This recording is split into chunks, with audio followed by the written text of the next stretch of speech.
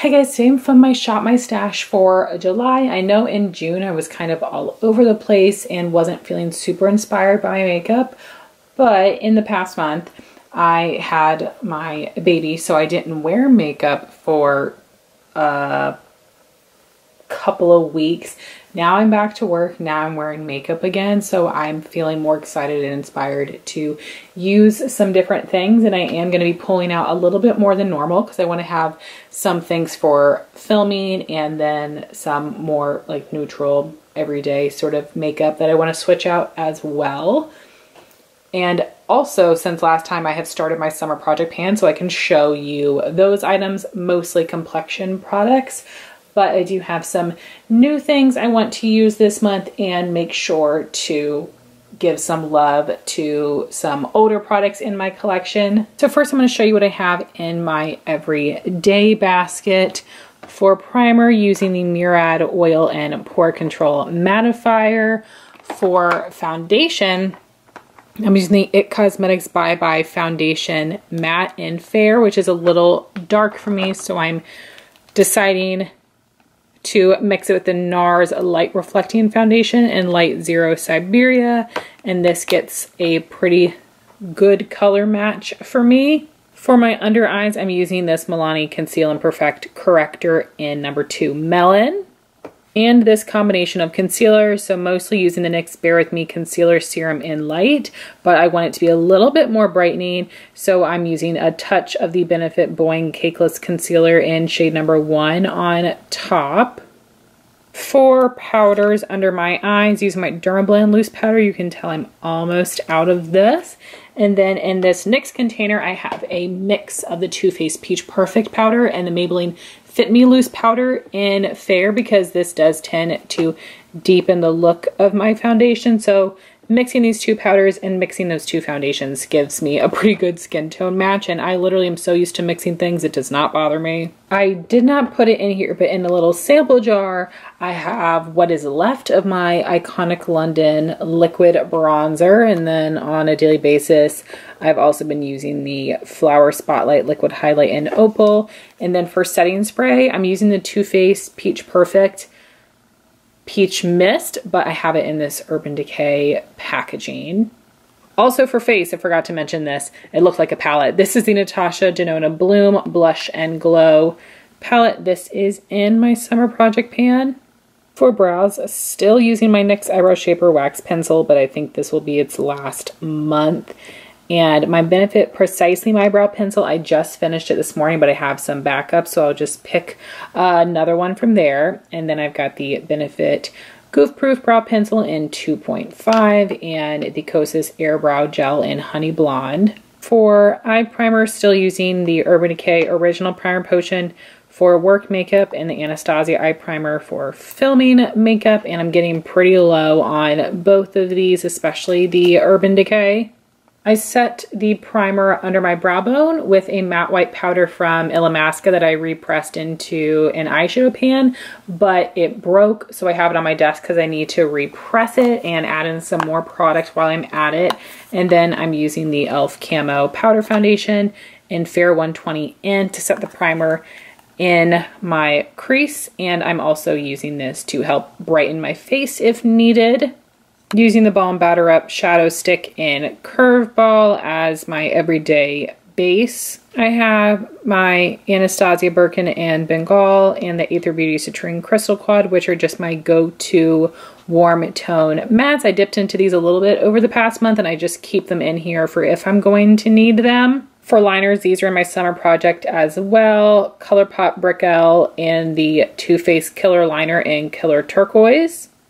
So for mascara, I am still using the Lancome Cils Booster XL Mascara Primer. And then for my bottom lashes, the MAC Extended Play Giga Black Lash. But I do need to pull some regular mascaras to use. And then from my most recent haul, these are the makeup products and then for my most recent haul, these are most of the makeup products that I brought in and I haven't put them in the drawers yet. I just left them in this basket. I'm not going to pull all of them this month. Some of them I'll use next month, but I'll just grab from here and show you as we're going through the different categories. So in this first drawer, we have primer, foundation, concealer, and my cream and liquid bronzers. And I am gonna be taking two things from my new basket down here to use. The first being the Too Faced Born This Way Healthy Glow Moisturizing Skin Tint in the shade Snow. I've heard that this is actually not that moisturizing, so I'm hoping it'll be good for my skin type, and I'm hoping this will be a good shade for me because Swan is my perfect color with Too Faced, but they don't make that shade in the skin tint.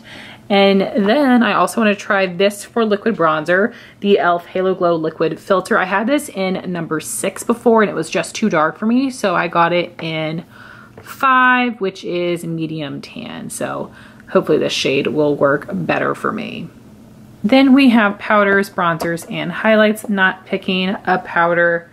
And for bronzer, I'm gonna pick a couple options here. So first, I didn't use this that long ago because I tested it when I bought it during the Sephora spring sale, but I do feel like it's good for summer, so I wanna get more use out of it.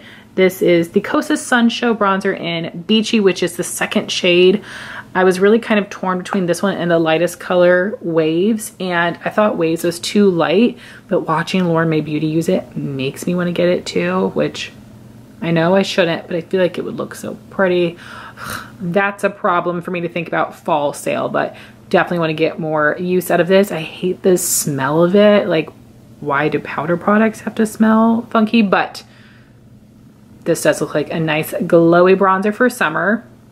And then this Vesca bronzer is something I previously used in fall, but the color is a little dark and pretty pigmented. So I'm thinking maybe summer would be best. Again, I have so many bronzers. I'm trying to, you know, really get some use out of them and reconfigure some seasons. So this is the Vesca bronzer in Kissed by Santorini. I think it is the second lightest shade and Vesca has gone out of business, but this is a really nice formula and color. For highlighter, I wanna pick two as well. First, I wanna take one of these Sigma highlighters. This one is the shade Savannah. This is too dark for me other times of year. And then I also want to use an Ofra highlighter and this is a limited edition collab from a couple years ago that was made with Madison Miller. The shade is called Mood Dance, so it's a little lighter and icier in comparison. For blush, this drawer is a mess and I'm wanting to pick out a lot of blushes. I'm gonna have a set for filming and a set for work makeup. Work makeup are ones that I'm still trying to make my mind up about or don't want to go neglected and the ones for filming, I'm thinking I'm wanting to use some things that are newer or I just feel more excited about so it's about to be a lot of blush but I did just get several new blushes I just bought four RMS blushes but I'm gonna save those for next month because I have these three other blushes that I really want to use I have one of the Dior blushes in Rosewood. I feel so fancy for even having this. The Saie Glow Sculpt in Peach Glow. And the Makeup by Mario Soft Pop Plumping Blush Veil in Just Peachy. And then some other blushes that are not exactly new, but I just feel excited to use would be these two Sigma blushes. I love my Sigma blushes so much. So the matte color I have is Sunset Kiss. And the shimmer one I have is Tiger Lily. And then I also want to use this Haus Labs blush more. This was very pricey. And I also think I'm going to finally commit to throwing away the box. And this is the shade Pomelo Peach. Then for work makeup, because I had my baby so early, I took a month off of work. I really did not get the use I was wanting out of these Nabla blushes. So I'm going to put them all in. So we have Lola, Truth, and Independence. And then I feel like I've really neglected some of these limited edition MAC blushes. This is MAC Sideshow You from the Simpsons collection. Sweet Sweet Fantasy from the Mariah Carey collection. Painted Canyon. I cannot remember the name of this collection, but I know it was very controversial because we have Native American inspired packaging, but they tried to say that this was a music festival inspired collection. And then MAC Ripe for Love from the Temperature Rising collection. This packaging is sticky and starting to peel. I have no idea why. It is unfortunately been sitting in this drawer for a long time unused, but whoo, that was a lot of blush, but I'm feeling excited about it. I definitely can use all of these, even for my filmy blushes. If I just use them once, that is fine, but I feel good about picking this many blushes. I don't yet feel overwhelmed. And now you get to see my backup drawer of shame. It is a bit of a hot mess in here, so forgive that, but I am gonna be grabbing another Precisely My Brow pencil from here. So I'm gonna be taking shade number two, Warm Golden Blonde. And this is something that I purchased recently that I went to test out the Benefit Goof Proof Brow Powder in to Warm Golden Blonde. Although it doesn't look that color in the pan, but we'll see how it performs. So coming over to the right hand side of the drawers here, I have my shadow sticks and pencil liners. I'm not going to be picking any pencil liners now. I do have some other ones that I like for summer, but I'll just save those for next month. But I do need to pick out some new mascaras. I did go to my spreadsheet to see what were some of the older ones, and then I'm trying to pair a more lengthening and volumizing mascara together. So we'll see how this combo works, but I'm going to try the Urban Decay Lash Freak, which even though it has a plastic brush, it just, from what I've heard, I feel like is like a little clumpier. And then I know the Benefit Roller Lash is a little bit more natural and good for length and separation. So I'm thinking that these will go well together. So we'll see. I'll show you the brushes on the mascara wands. Oh gosh, this one looks crazy. This is Urban Decay Lash Freak and Benefit Roller Lash. So for my more fun palettes, I want to pick some indies that I have not used. I need your all's recommendations for color combos with this. This is Adept Cosmetics House of El, and this is like a Superman palette. These shades are way out of my comfort zone, but look so fun. So please, please help me figure out what to do with this. And then another unused indie palette for me would be the Oden's Eye Solmon 2. I know I love the Oden's Eye formula, so I'm so excited to play with this palette. I would love your color combo recommendations here as well. And while my camera just overheated, I went ahead to pull out my neutral palettes for work because they were way back here and you can see this drawer is just totally full so I want to use some of my Sigma palettes. So this one is the Ambiance palette. Some really great, more like gold, bronzy shades, warm tone mattes. And then for something with a little more color, the Sigma Cor-de-Rosa palette. And then for lips, I'm actually gonna do something different. In my drawer, I'm gonna put all the rest of my summer lip products that I have not used yet because I'm going to just try on some different colors after I do my makeup or, you know, swatch some things and see just what I feel like goes with the different makeup looks that I do.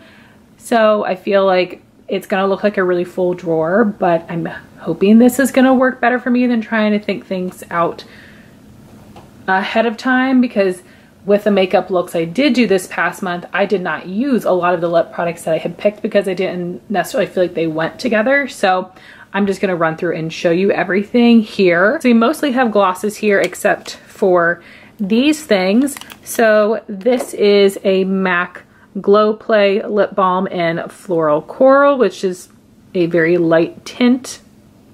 M Cosmetics Lip Cushion in On Gel. Rare Beauty Kind Words lipstick in Humble. And the Dose of Colors Liquid lipsticks in Flirty and Warm and Fuzzy. Then for some of my more bronzy glosses, Lawless Forget the Filler in Cali Sunset, Lunar Beauty Starlight, Fenty Gloss Bomb and Fenty Glow. You can see this is just a mini. And then this Milani Keep It Full Nourishing Lip Plumper in Rosy Bronze.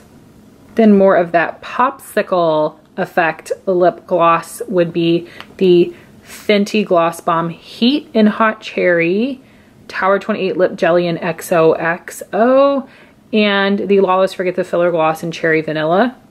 And then just for some like wearable glosses with color, the Merit Lip Oil in Pink Beat, Buxom Full On Plumping Lip Cream and Melon Mimosa, and the Maybelline Lifter Glosses in Reef and Amber. I will definitely have to let you know next month what I ended up using. I'll definitely do that for the lip products, let you know what I used. And we'll see how overwhelmed I was with the way I went about this. But let me show you everything in the drawers. Before I show you the things put away in the drawer, these are the things that are going to be for the mascara and brow products added to my little everyday basket. And then these are the blushes, bronzer, highlighter, and palettes that I have selected for my work makeup, which I will be storing in the little storage organizer that I have on my vanity in the bedroom where I'm doing my work makeup currently. So here we have my half full, half empty drawers. So for complexion, I just have the Too Faced Skin Tint and the e.l.f. Halo Glow Liquid Bronzer. Cheeks is looking much fuller, so I, for now, I'm gonna say for filming, I'll use my Vesca bronzer and the Ofra highlight, but I'll probably switch back and forth. But I feel like the other colors might be better for me for work, but we'll see. And then the blushes that I told you I was going to use for filming. Then here is my lip drawer, which is very full. I had to stack the glosses a little bit. Definitely looking forward to seeing if this is a good thing or was gonna be overwhelming. And then I have my two colorful palettes to the side. So guys, this was my Shop My Stash for July. I'm feeling excited and inspired, so hopefully that keeps with me throughout the month. I really missed wearing makeup, so I'm happy to hopefully get more consistent with filming again. It's hard to work out, but I will at least be wearing makeup for work, so that is definitely exciting, but I would love to know what makeup you guys are wearing this month. Thank you all so much for watching this video. Please like, comment, and subscribe, and I'll talk to you soon. Bye, guys.